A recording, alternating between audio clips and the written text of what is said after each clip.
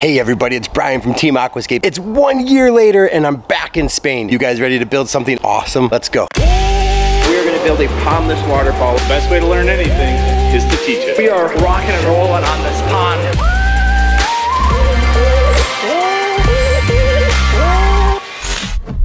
100% one of the hardest things is the language barrier. I know a little bit of Spanish, but more like Donde el Baño and Taco Bell. Getting through it, our operators are here, starting to dig. We've got the pond marked out. We've got another crew working on laying out the deck and getting all their material and stuff in there. So things are definitely happening. If you can remember, this was the front door. And we designed everything like we normally do from inside the house. Remember, all of this was all concrete before. And none of this was finished, but it was those big windows over there that we were focused on. So if you look at those windows, that's gonna lead right out to just past that area will be the big waterfall. Really cool sunken family room, giant kitchen table. See here, we've got all kinds of lines in here, but this is about where the deck's gonna come out to. So right now they're taking measurements, figuring out what kind of lumber they're gonna need. But this is the excavated area, so we're gonna have a wall that sits here supports the deck that cantilevers out to there. We got Victor over here working on this side of the pond. The pond's gonna come up nice and close in here, kind of swing back around that way, around over there. It comes right up to the foundation of this patio here. Then you can see how it's gonna curve around this little planter, which is where this tree is at. Huge waterfalls in the distance, stepping stones going across our wetland area, and big, big pond. Intake bay is gonna be way over there past that machine. Ralph, great job, buddy. Thanks. I'm out here with my good friend Jaak Harju from Atlantis Water Gardens. Jack, we are back in Valencia, Spain. Were here, what, a year ago? It feels like just yesterday we were up in the mountains tagging boulders for this epic project we're about to get started How awesome on. was that? I'm so excited for those to show up and actually start building pond with. Those were probably some of the most spectacular boulders I've ever seen. Well, and just such a rare opportunity to be up there and actually say, I want that rock and I want that rock. From where it was born. Yeah, from where it was born. So we've got about, what, 14 days? We're gonna be done two days before Christmas. We are meeting up with Ralph from Pondscapes AZ. Chris Hansen's coming out here. I guess we have a couple helpers, operators. I feel like as long as we have the four of us, doesn't matter. Right? We overcome some huge obstacles in the past. Pretty sure we can overcome anything out here. I am genuinely excited. Speaking of obstacles, my excitement kind of changed after we hit our first one pretty early can hear how deafening that thing is. What do we do? The soil that we're getting into over here is literally solid rock. This is just being picked at and picked at and picked at, and we gotta get down at least four feet deep off of here. And this bedrock goes from here all the way back into our where our wetlands at, which is way back there, all the way to over in here. This part looks fantastic. Looks exactly like we're supposed to. The problem is, is all the soil that came out of here is just straight up garbage. It's just just all kinds of miscellaneous rubble and pots and plastic. It's just ridiculous. We do have some decent soil which we can move around and uh, use for our berm, but the other challenge we have is you cannot run equipment on the weekend. Kind of an ordinance here in the neighborhood. So we can run this for a couple more hours today. Right now we are going to be about four days behind schedule just because of the excavation challenges that we're having right now. But it is what it is and we're going to try to make the best of it.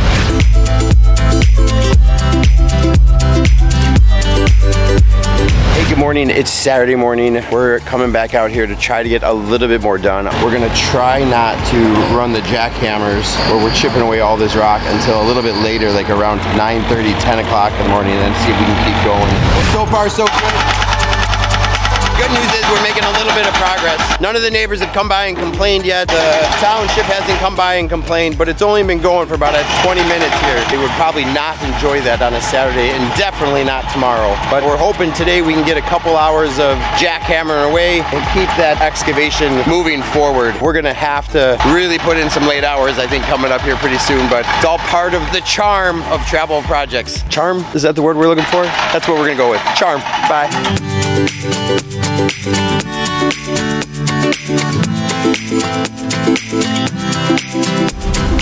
So we were hoping for a machine to help dig all this, but because it's not here and we have no idea when it's coming, we're all digging this little beach area out by hand. It's kind of challenging because of the rock. It's kind of challenging because of the soil. It's more challenging because of the tools. The one of the things that you never ever think about when doing a project outside the country is they don't have the same tools that you do. So you can see Jaak's using a little hoe over there.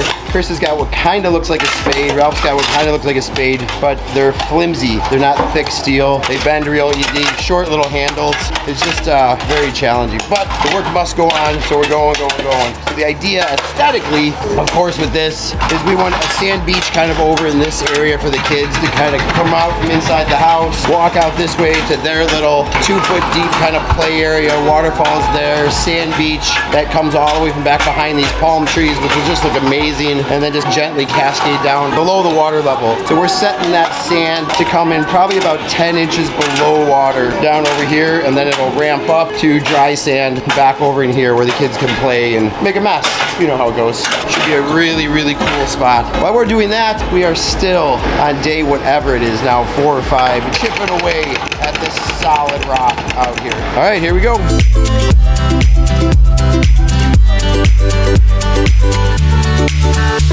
So good news. Well, I don't know if it's good news. Some of the rock finally showed up. So all the rock was actually supposed to be here before we got here. Our first load just showed up. It's something like three o'clock on Monday. We were hoping to have rock starting to go in sometime Saturday. We are still digging.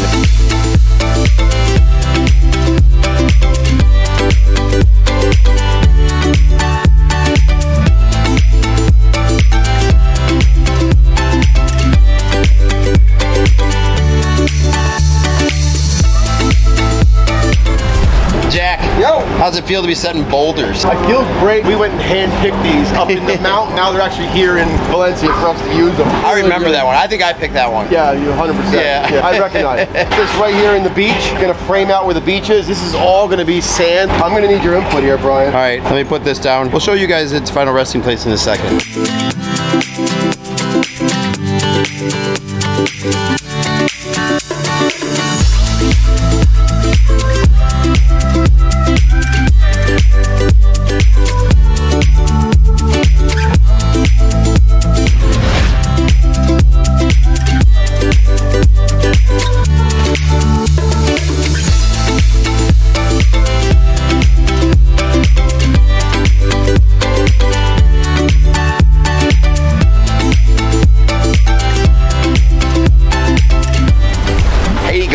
Everybody. It's Tuesday out here in Spain. Still here because we have a lot of work to do, but we are moving along. We got the fabric in, but actually, I'm going to show you something we're doing a little bit different this go around with the pond. Hey, Jaak, explain to everybody why we're doing the fabric than sand. The past four days, they've spent hammering all this rock out here. So when they're done, it's not gonna be a very even surface, it's gonna be kind of bumpy. We're putting down this fabric as a protective layer to keep any loose rocks from migrating up into the sand. Then we've got a sand layer, then we're gonna do more fabric on top. We wanna make sure that there's no chance of anything from below coming up into our liner. We're gonna put about that much sand on this. What we have to be careful with is a couple things. There's two seams that have to be done here, one coming from the deep stream, one going into our intake. 50 foot wide liner by 100. We're gonna take that, go down onto our wetland, create our waterfall and everything on the backside. But areas like this can suck a lot of liner in. So what we're gonna do is we're gonna raise this up a little bit. We'll figure out our elevation for the wall so we can get a little bit less deep here. And then we've got to make sure we keep the liner close enough to our existing stream liner to do this seam and then that one. Once that's done, they can go ahead and start building this wall. Would be a huge milestone for us because that means we can start setting boulders inside here and getting this thing rocking.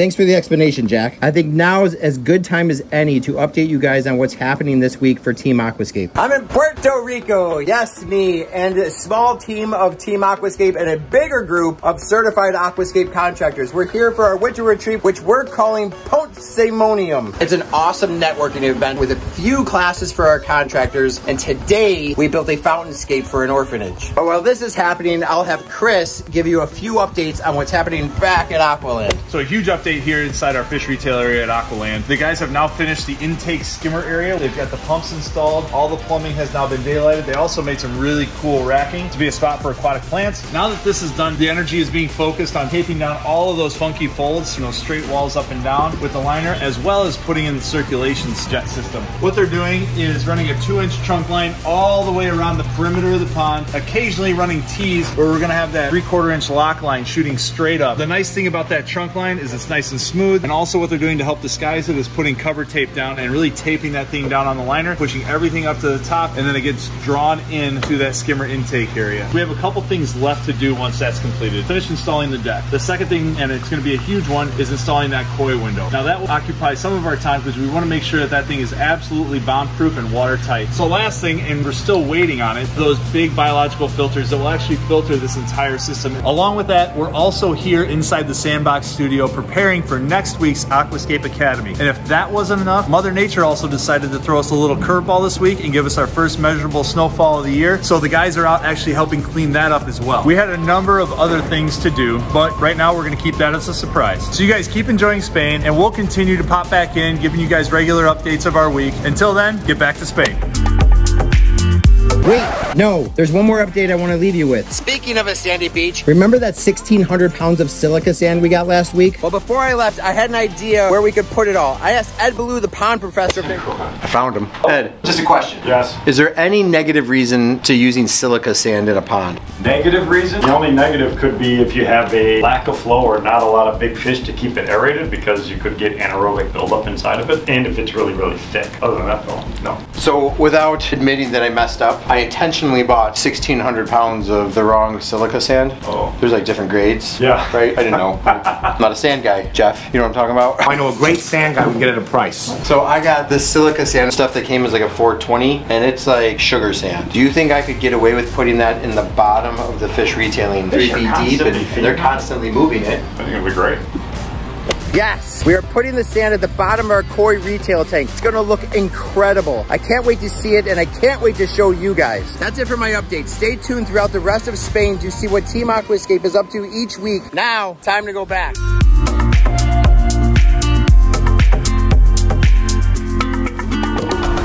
All right, liners in, fabric over the top. We're getting gravel in for our block wall that's gonna support the deck. Thank you. Well, struggle after struggle out here in Spain. We did hit a huge milestone though today. We got the liner in, got our wetland being dug back over here, but now it's just raining and it's coming down hard. I am feeling miserable. I got the worst cold, just not good. but we're moving through it. We're so far behind and now just nervous because we have all kinds of obstacles, which I think we'll talk about tomorrow. We're gonna get out of this rain and uh, head back. We've only got about another hour of sunlight anyways. Maybe try to regroup a little bit, come in here, hit it hard tomorrow, and remember that we love our jobs. Bye.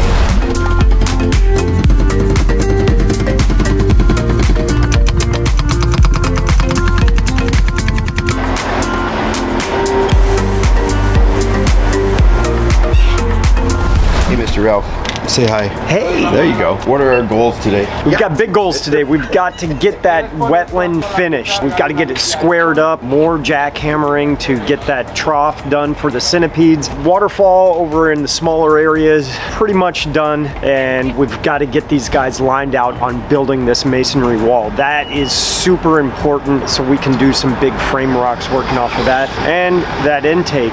Intake is going to need to get a piece of liner seamed onto that. Oh, Lots of That's a lot's going on for one day. Lots going on. You think that's too much for us to handle? so waterfall is pretty much done. Wow, I say pretty much done, but not really. We've got spill stone, spill stone, and this is actually underwater. But we've got to bring the biofalls in. We've got to bring in all the soil up to the side, get that berm all situated, get some extra support rocks back out and through here, back out and through there. Still have to get our sand for our beach. Don't know if we'll get over to intake bay today or not. I no idea.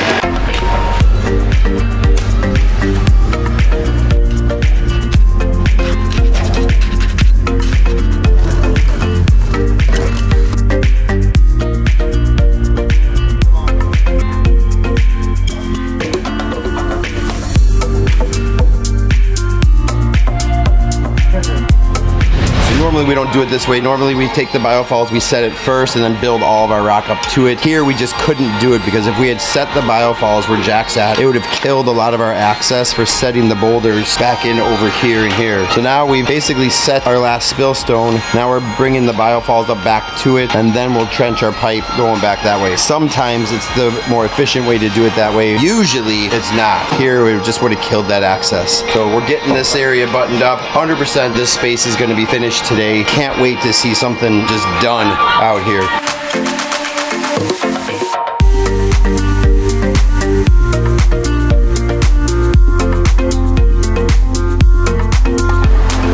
Everybody. It is Thursday. It's officially one week past our start date. That's right, we've been here seven days. Things are coming along. What really, really helps with keeping us motivated every single day is our audience. Who we're doing it for. So every morning, sweet Harper over here, Harpy comes out, wishes us luck. Look at that big old smile. Mom, dad usually come in a little bit later, come sit over here, and remember that view is this over in here. So there's that waterfall, 95% finished. We just got to button some stuff up over there. Hopefully it pulls them from inside to outside and they get to look at this unbelievable park-like setting we're creating for them. We're still dealing with challenge after challenge after challenge. We're waiting on rock. The rock that's supposed to be considerably larger than the rock we have now. Challenge we're gonna have with that, if it shows up when they say it's gonna show up, is that it's gonna look a lot different than this stuff. So this is the weathered limestone, kind of top cap limestone. The stuff that's coming, I think is a little bit more chunky, a little bit more orange color. Will blend with this nice, but what we were preferring is that that stone would be here so we could mix it in with this stuff. So we didn't have one style here and then another style over there. They've promised us that two loads will come today. One load was supposed to be here at 8 a.m. It's 8 a.m. It's not here. We knew that probably wouldn't happen. 8 a.m. for them means closer to 1, which is fine, just as long as it gets here today. So we're gonna try to stay busy and we have plenty to do. We have a seam that we have to do over here. Last night, we hit a huge milestone by getting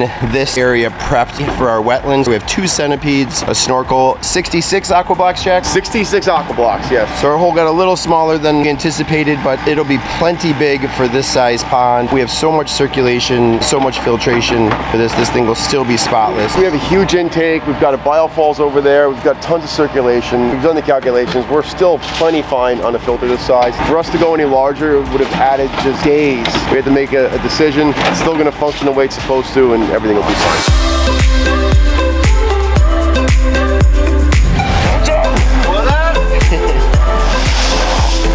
It's nice having this team out here. And when we have talent like this, we can split up, get two things done at once. So Jaak and I are working on that seam. Chris and Ralph are over here working on the wetland. Chris, what are you working on right now? Just kind of leveling up the bottom of the trench for the centipede and snorkel. We over excavated it, brought some sand in. Now we're just fine tuning it so these aqua blocks will sit nice and level across the bottom of the entire excavation. So we just have to bring that centipede up just about an inch. So nearly impossible for us to do the excavation and get things exactly right because again, the solid bedrock that everybody had to dig, well, not everybody had to dig through. Those guys had to dig through. Thank God. Yeah, right? This is just a quick little trick to make sure the top of the centipedes are level with our shelf over here, making sure that those aqua blocks move smoothly across the top.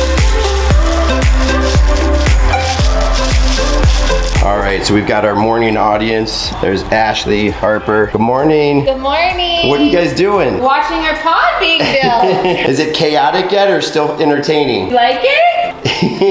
Thanks for everything. You guys are the best hosts ever. Oh, you guys are the best. We're so excited. Are you excited? Are you gonna go swimming? Nice. And that's 100% why we keep doing this. So much fun. Customers are absolutely amazing. To have a young family with three kids, you know they're gonna love this backyard. Feels good to have like the whole machine working now. We've got multiple excavators moving. A truck is here offloading stone that we desperately need. These guys are finishing up the wall, the wetlands going in. Like this is the pace that we're supposed to be going. I'm happy with how it's turning out today. awesome.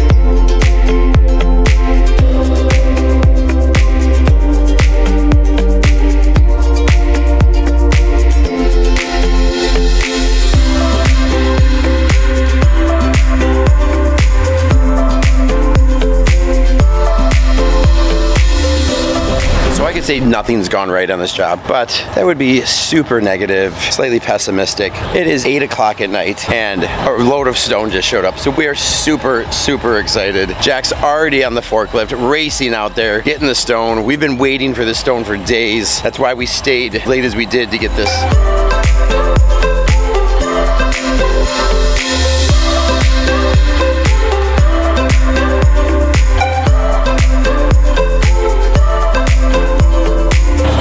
Not exactly what we were looking for, but you know, I love my job. no, it's not bad. It's just, we're looking for big stone. And he keeps telling us we're gonna get this big, big stone. And these are all like hand size, 12 to 18s. And it's just one more obstacle. But we got this because we've been here before. We'll see you all tomorrow. Bye. Seth, what was the inspiration to even do a pond? Man, it goes back. My wife has been joking since the day that she met me when she asked me, like, she's, what do you do for fun? You watch movies? I said, I watch a lot of YouTube videos of ponds and back. and she was interested in you.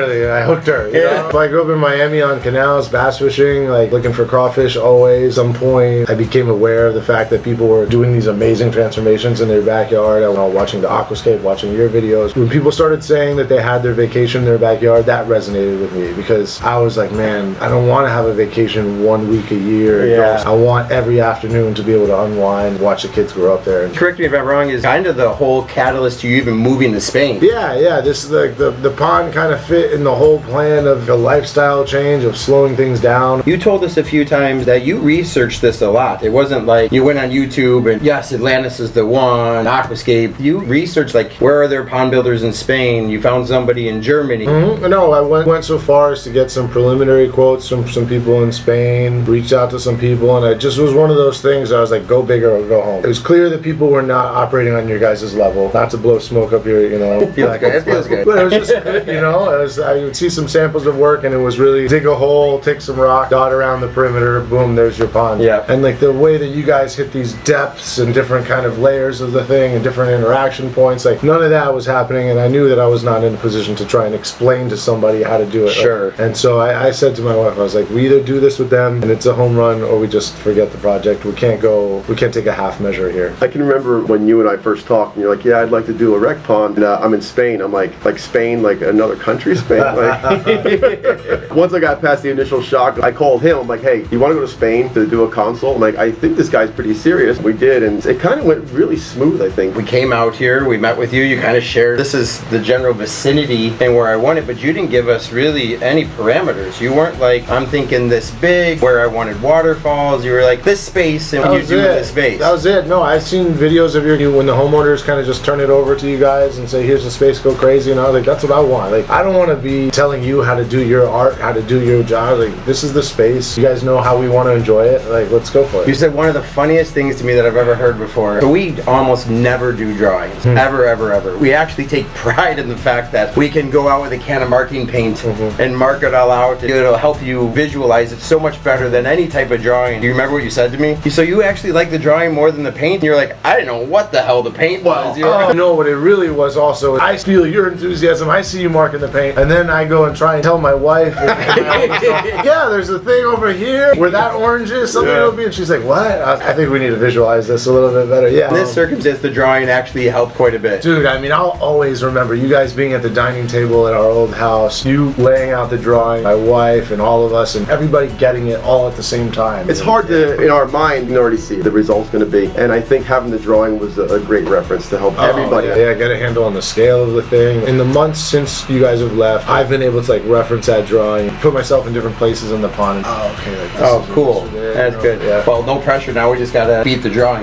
right? Well, I guess we have nothing left to do but to get to work. yeah, let's go do it.